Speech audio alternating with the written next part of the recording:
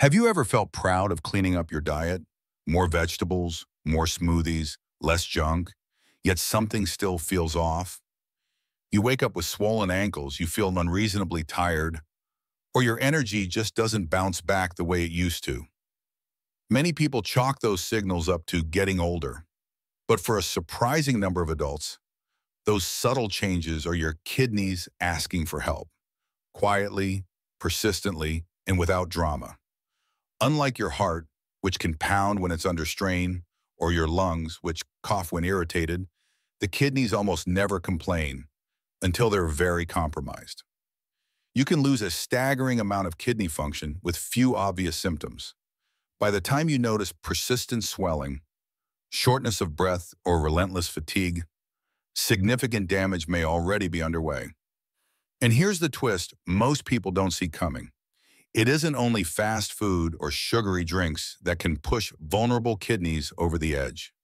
Sometimes it's the very foods we're told are the epitome of healthy, especially certain vegetables when they're concentrated, overused, or poorly matched to a kidney that's already struggling. I'm Dr. Johnny.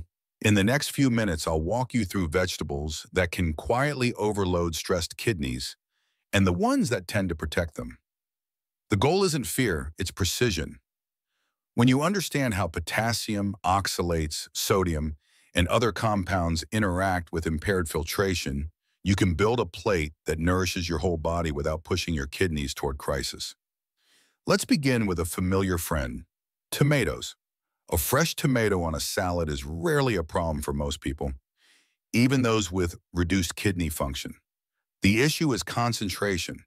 When tomatoes are transformed into paste, sauce, ketchup, or juice, their minerals, especially potassium, become far more dense per bite. A cup of unsalted tomato sauce can approach the potassium load that would be fine for a healthy kidney but risky for a weakened one. That concentrated dose adds up quickly, especially when healthy homemade sauces rely on multiple spoonfuls of paste. For someone with reduced glomerular filtration, that excess potassium doesn't clear efficiently. The result can be a rise in serum potassium that starts with vague weakness and fatigue, but can progress to dangerous heart rhythm changes. The fix is not to demonize tomatoes. It's to respect concentration and control portion size. Favor diced fresh tomatoes or small amounts of thin sauce.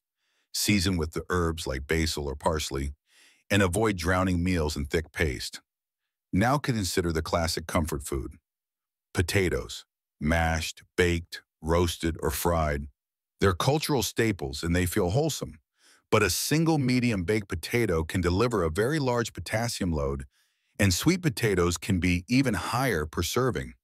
In a healthy person, the kidney's exquisite regulatory system balances that surge.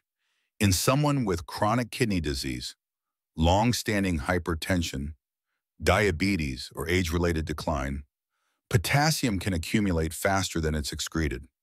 What begins as a comforting plate can, in the wrong context, become a silent overload. Does that mean potatoes are forbidden? Not necessarily.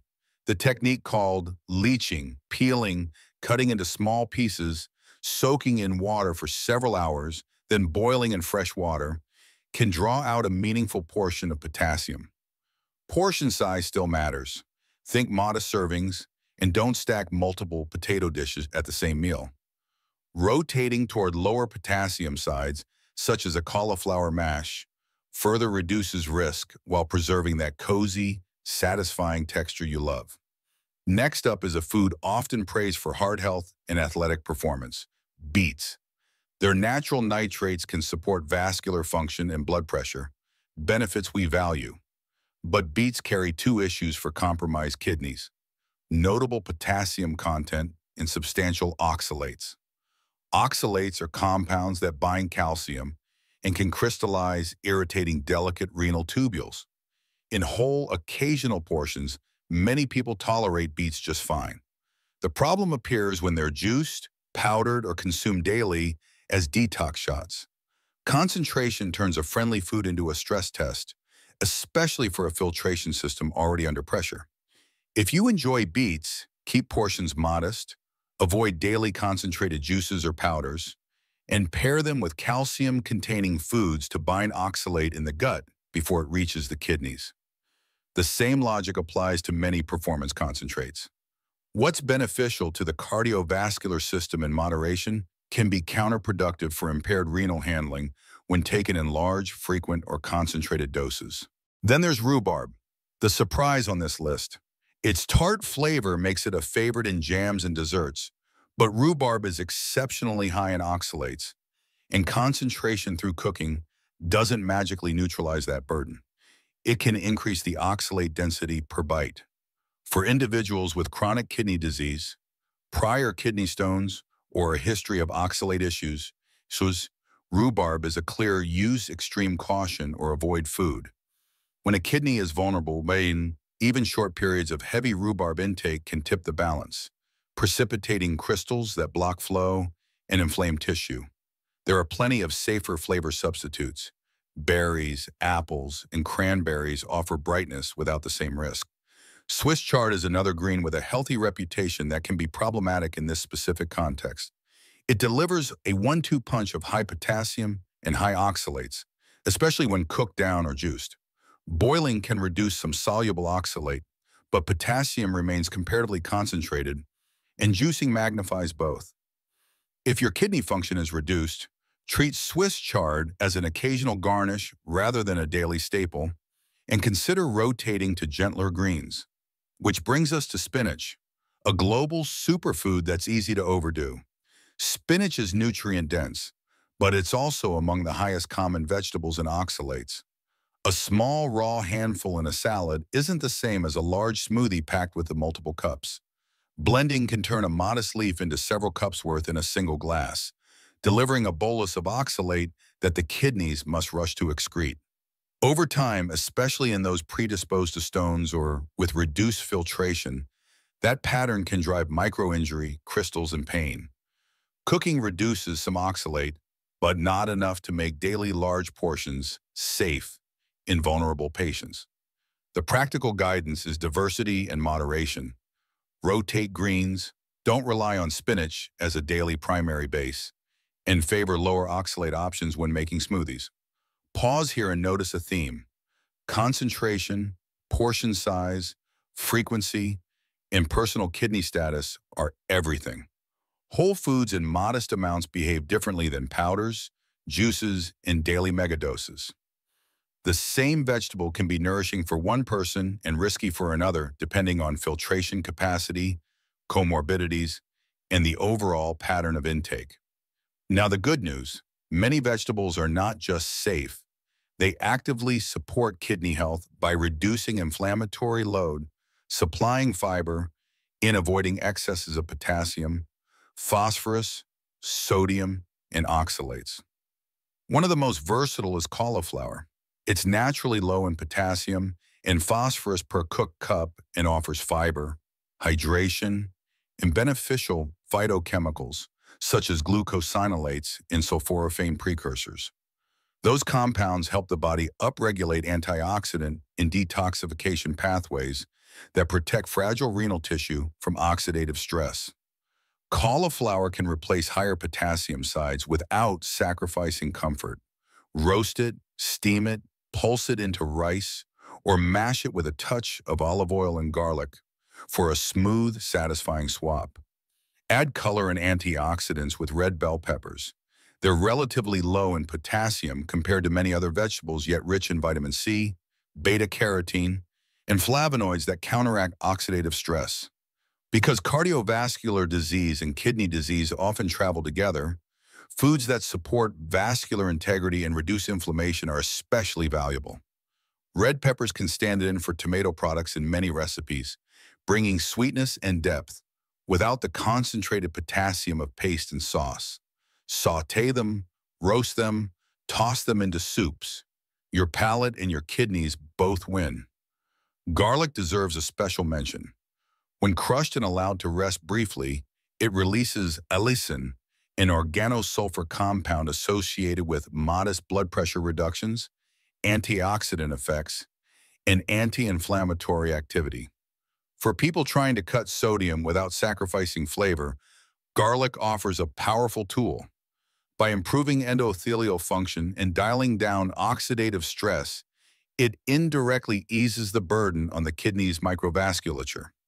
A simple practice, crush fresh cloves, let them sit for about 10 minutes to activate, and add near the end of cooking, maximizes benefits in taste.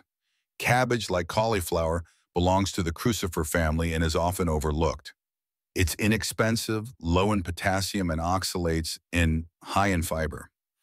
Importantly, crucifers stimulate the NRF2 pathway, a master switch that turns on genes involved in your body's own antioxidant and detoxification systems.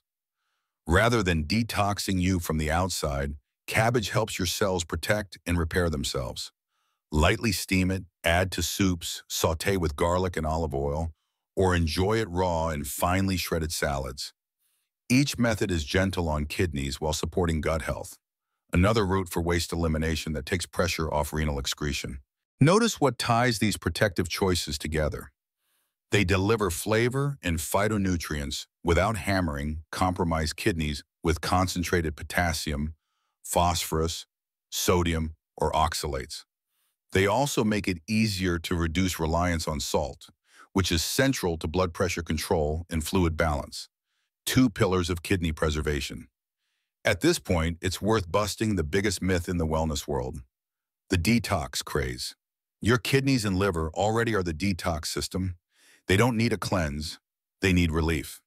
Daily mega smoothies packed with high oxalate greens, powders touted as supercharged, and aggressive frequent juicing regimens often create the very electrolyte in crystal burdens vulnerable kidneys can't handle. Healing is rarely about extremes. It's about steady, smart choices that reduce the workload on a delicate filtration network while keeping the rest of you well-nourished. So how do you translate all of this into a week of eating that protects your kidneys without sacrificing joy? Start by auditing concentration. If you love tomato flavor, lean on diced tomatoes and red peppers instead of spoonfuls of paste or thick sauce. If potatoes are a comfort, Reserve them for small, leached portions and avoid stacking them across a meal. Use cauliflower mash or roasted cauliflower steaks as regular stand-ins.